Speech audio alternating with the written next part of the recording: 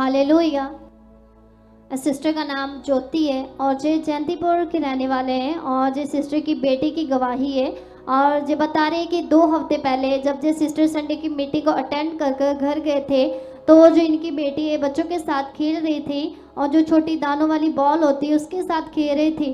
तो जो बॉल थी, बहुत ही छोटी सी और वो इसके नाक में फंस गई और पहले हम उस बॉल को भी देखेंगे। इसे निकालो, इस पॉलीथिन से बाहर निकालो। हाथ में रखो, हाथ में, ऐसे हाथ में रखो। इसे कैमरे में लो पूरी तरह से।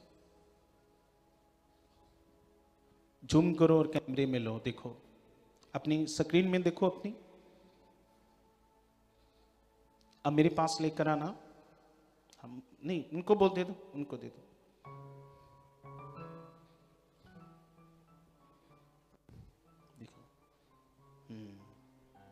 छोटी नहीं है काफ़ी बड़ी है क्योंकि बच्चे के जितना बच्चे का हाँ बच्चे की नोज़ के हिसाब से ये बॉल ये जेलो कलर की है हो सकता है जो पीछे बैठे हैं लोग उसे इतनी नज़र ना आए, इसीलिए मैंने आपको स्क्रीन से दिखाया है झूम करके कि आप देख सको।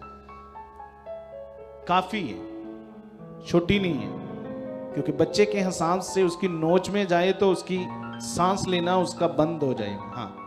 बताओ अभी? बताओ आगे बताओ और जब जे बॉल इसके नाक में फंस गई तो जी सिस्टर तो मीटिंग से घर गई थी और जी बेटी जो थी उसके नाक में बहुत ज़्यादा दर्द हो रही थी इस बॉल फंसने के कारण।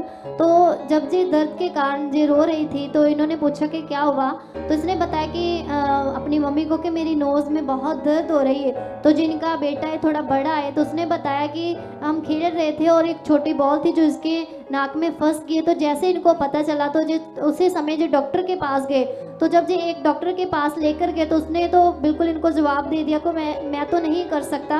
मैं नहीं निकाल सकता। तो जैसे जो फिर दूसरे डॉक्टर के पास जा रहे थे और वहाँ पर जाकर इन्होंने परमेश्वर के आगे प्रार्थना की कि परमेश्वर आज मैंने मीटिंग को अटेंड किया और प्रभु के दास के द्वारा आज मैंने विश्वास से वचन को सुना है कि जो कुछ आप विश्वास से मांगोगे परमेश्वर आपके लिए कर चुके हैं। और मैं विश्वास करती हूँ कि जैसे डॉक्टर ने तो जवाब दे दिया पर जब मैं इस जगह पर आई हूँ तो मैं विश्वास ये कौन सी मीटिंग की बात है जब ये दो हफ़्ते पहले पिछले संडे इन्होंने पिछले संडे क्योंकि इन दिनों में सुनो इन दिनों में विषय भी चल रहा है ना कि कौन सा विश्वास बड़े कामों को क्या करेगा? प्रकट करेगा। तो ये दो हफ़्ते पहले ये तो आज, आज तीसरा हफ़्ता है। आज इस टॉपिक को इस विषय को चलते हुए तीसरा हफ़्ता है कि कौन सा विश्वास बड़े कामों को प्रकट करता है। तो जो शिक्षा थी दो हफ़्ते पहले ये सुनकर गए थे इनके मन के अंदर थी। तो उसी विश्वास से हाँ आगे बताओ आगे क्या है?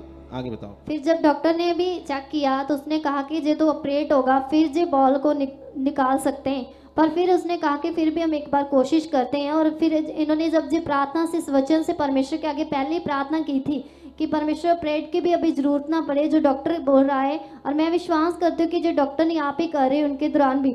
तो जो ऐसा फेद, ऐसा विश्वास देकर परमेश्वर के आगे धन्यवाद देते रहे और जे बता रहे कि ये घर से चार बजे गए थे और शाम के सात, साढ़े सात हो गए जब जो वापस आए और जे बता रहे कि काफ़ी टाइम लग गया था और जब जो डॉक्टर ने जब देखा तो कोशिश की तो जो बॉल थी उसने निकाल दी। पर इन्होंने परमेश्वर का धन्यवाद किया कि जो पहले डॉक्टर ने जवाब दे दिया था और दूसरे ने कहा कि ऑपरेट होगा, पर सच में जैसा इन्होंने विश्वास का वचन सुना था, उस विश्वास के दौरान ही परमेश्वर ने आज बिना ऑपरेट से, अपनी सामर्थ से इस बच्ची के जो नाक में बॉल थी उसको निकाल दिया और काफ़ी दर्द थी। उससे भी परमेश्वर ने इनको बिना आ, कुछ किए ही परमेश्वर इसको बिल्कुल अच्छे से संभाल कर रखा और अभी हम देख सकते कि बॉल बिल्कुल बाहर हमारे हम देख रहे हैं और इसके लिए प्रभु का बहुत सारा धन्यवाद करते हैं। तो सुनो सारी।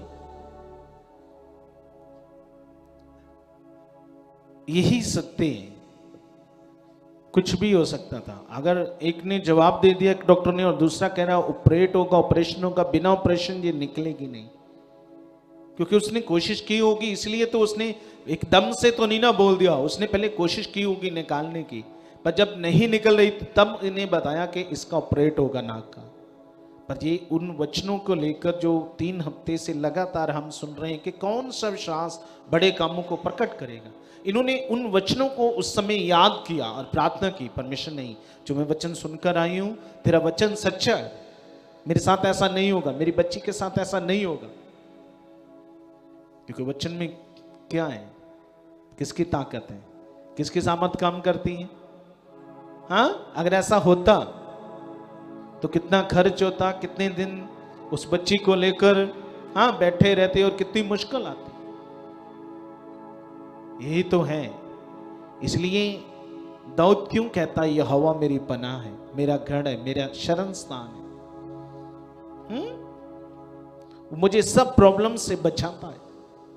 आपको नहीं पता ये ये सुनने में हो सकता नॉर्मल लग रहा है जब मुसीबत जब थी इनके ऊपर और ये ये माइक देना नहीं ये क्या कर रही थी जब ये बॉल इसके नाक में थी तो क्या करती थी ये रोती ਜੀ ਪਾਪਾ ਜੀ जय मसीह की ਪਾਪਾ ਜੀ ਬਹੁਤ ਜ਼ਿਆਦਾ ਰੋਣ ਡਈ ਤੇ ਡਾਕਟਰ ਆਂਦੇ ਇਹਦਾ ਪਲੇਟ ਹੋਣਾ ਵਾ ਉਦਾਂ ਤੇ ਨਿਕਲ ਨਹੀਂ ਡਈ ਤੇ ਨਹੀਂ ਤੇ ਜੇ ਪਲੇਟ ਨਾ ਹੋਇਆ ਤੇ ਇਹਨੂੰ ਬੇਹੋਸ਼ ਕਰਨਾ ਪਊਗਾ अच्छा जी ये बेहोश करना पड़ेगा ਹਾਂਜੀ ਕਹਿੰਦੇ ਬੇਹੋਸ਼ ਵਾਲਾ ਟੀਕਾ ਲਾਵਾਂਗੇ ਤੇ ਟੀਕਾ ਵੀ ਨਹੀਂ ਪ੍ਰਮਾਤਮਾ ਕਰ ਮੇ ਰੱਖਿਆ ਪਰਮੇਸ਼ਰ ਨਾ ਇਹ ਬੇਹੋਸ਼ ਕਰਨ ਤੇ ਨਾ ਇਹ ਆਪਰੇਸ਼ਨ ਕਰਨ ਪਰਮੇਸ਼ਰ ਤੁਹਾਡਾ ਹੱਥ ਆ ਤੇ ਪਰਮੇਸ਼ਰ ਇਦਾਂ ਲਗਾ ਚੁੱਕੇ ਜੇ ਆਪਣੇ ਪੁੱਤ ਯੀਸ਼ੂ ਮਸੀਹ आपने ऐसा विश्वास दिया खुदा को है ना ਹਾਂਜੀ ਪਾਪਾ ਜੀ पहले ये रो रही थी ਹਾਂਜੀ इसे ਪਾਪਾ सांस लेने में भी तकलीफ आ रही होगी ਜੀ ना ਹਾਂਜੀ ਪਾਪਾ ਜੀ देखो तो तब ऐसा छोटा बच्चा है तो जो माता पिता होते हैं कितनी उन्हें घबराहट हो जाती इसलिए जिस खुदा पर आप विश्वास करते हो ना वो हमेशा आपके साथ रहता है। क्या रहता है? हमेशा आपके साथ रहता है, आपके साथ। ये छोटी बात नहीं है बहुत बड़ी गवाही है। ये बड़ा चमत्कार है जो खुदाबंद ने इस बहन की, इसकी बच्ची के साथ किया है। उसी विश्वास से जो हम सुन रहे हैं। इसलिए तारीफ़ कर दो, ज़ोर से ज़ोर से ज़ोर से। नेचा के नहीं पहाड़ खलो सकता नेचा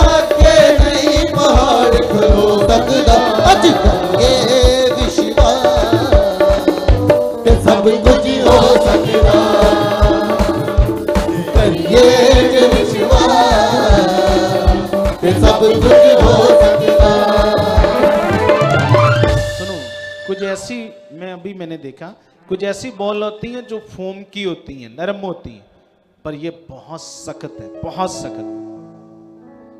कैसी कुछ नर्म होती ना, ऐसी बॉल्स आती है छोटी छोटी ये बहुत हार्ड है।